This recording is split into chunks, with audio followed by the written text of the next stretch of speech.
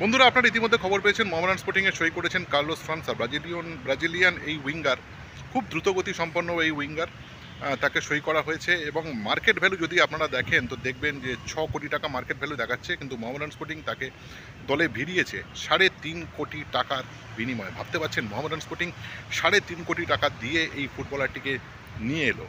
এবং মোহামেডান স্পোর্টিংয়ের ইতিহাসে সবচেয়ে বেশি দামের সাইনিং কিন্তু এখনও পর্যন্ত এটাই। এবং ভাবতে পারছেন কয়েক বছর আগে মোহামেডান স্পোর্টিংয়ে বেতন সমস্যায় জর্জরিত থাকতো এই তাঁবু।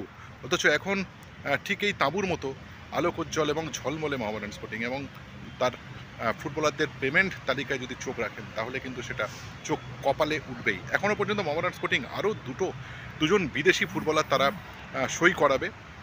একজন সিডিএম যিনি অপশনাল সেন্টার ব্যাক খেলতে পারেন, আর চেষ্টা করবে মোহামেডান স্পোর্টিং একটি স্ট্রাইকারকে নিয়ে আসার।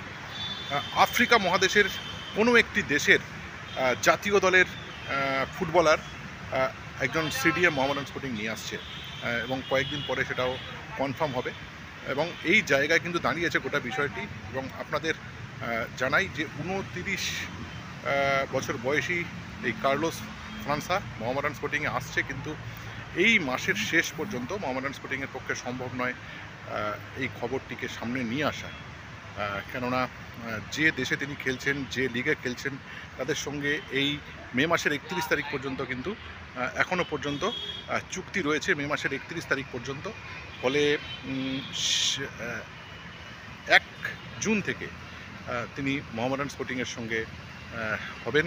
এবং এখনও পর্যন্ত যে চুক্তিটি হয়েছে সেটা প্রি কন্ট্যাক্ট বেসিকে চুক্তি হয়েছে। এক তারিখ থেকে সেটা সম্পূর্ণ মোহামেডান স্পোর্টিংয়ের হয়ে যাবে। এই কার্লোস ফ্রান্সা, ব্রাজিলিয়ান উইঙ্গার খুব দ্রুতগতি সম্পন্ন এবং এই দ্রুতগতি সম্পন্ন একজন উইঙ্গার চাইছিলেন কোচ আন্দ্রে চেরনিসভ এবং চাওয়ার কারণ হচ্ছে একজন ফুটবলার শুধুমাত্র দাঁড়িয়ে থেকে গোল করবেন, এটা তিনি চাইছিলেন না কোনোভাবে। এবং মোহামেডান স্পোর্টিং বিভিন্ন রোলে ব্যবহার করতে চাইছে ফুটবলারদের এবং তার একটা বড় কারণ হচ্ছে নানান job role then coach Andrey Chernyshov এবং এই উইঙ্গারটি কিন্তু অপশনাল ফরওয়ার্ড পজিশনেও খেলতে পারেন কখনো নাম্বার এইট অর্থাৎ সেন্ট্রাল মিডফিল্ড পজিশনেও খেলতে পারেন কিন্তু মূলত উইঙ্গার এবং খুব দ্রুতগতির এই ব্রাজিলিয়ান ফরওয়ার্ড বা উইঙ্গার মোহামেডান স্পোর্টিং ভিড়িয়েছে, যেটা কিন্তু একটা দুর্দান্ত ব্যাপার। আমরা এই বিষয়ে কথা বলেছিলাম মোহামেডান স্পোর্টিংয়ের ওয়ার্কিং প্রেসিডেন্ট কামারুদ্দিনকে। কয়েক বছর আগে মোহামেডান স্পোর্টিং পেমেন্ট সমস্যায় জর্জরিত ছিল।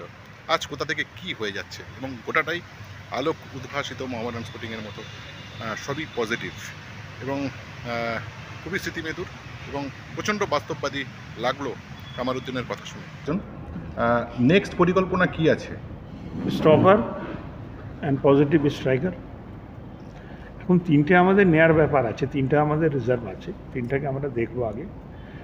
In the meantime Indian যা প্লেয়ার আছে, তাকে অনেকটা নাইনটি পার্সেন্ট আমরা রিটেন করতে পেরেছি নাইনটি পার্সেন্ট তার মধ্যে কিছুটা ভালো, কিছুটা উনিশ বিশ আছে। ইন্ডিয়ান সবাই এক সমানই আছে উনিশ বিশ আছে। কোচ কিছুটা ইন্ডিয়ান ছেলেকে ইন্ডিকেট করেছে। তার মধ্যে আমরা ওয়ার্ক করছি।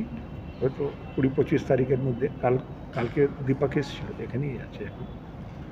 কথা হয়েছে। যাকে স্পট করা হয়েছে তার সঙ্গে কথা চলছে। আশা করি পঁচিশ তারিখের মধ্যে আমাদের ইন্ডিয়ান স্কটটা পুরো কমপ্লিট হবে। ব্যাক অ্যাকচুয়াল না ওটা হ্যাঁ ডিফেন্স মিডফিল্ড খেলতে পারে। অপশন সে যদি হ্যাঁ, খেলতে পারে। মোহামেডান স্পোর্টিং সাড়ে তিন কোটি টাকার প্লেয়ার সাইন করাচ্ছে। মার্কেট ভ্যালু যা ছ কোটি দেখাচ্ছে। পাঁচ বছর আগে এটা ভাবা যেত না কিন্তু কামাত আমি জাস্ট এই জায়গাটা বলছি।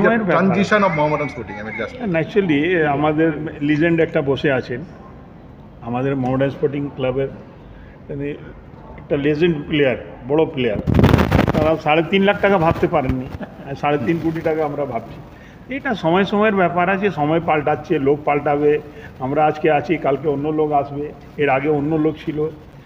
আশা করি আমরা একটা ভালো ফলাফল করতে পারব, কিন্তু দর্শকদের পেশেন্স রাখতে হবে। ইমিডিয়েট কিছু হবে না।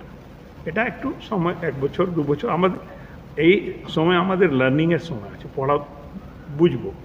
কীভাবে আইএসএল খেলা next exam next exam extra time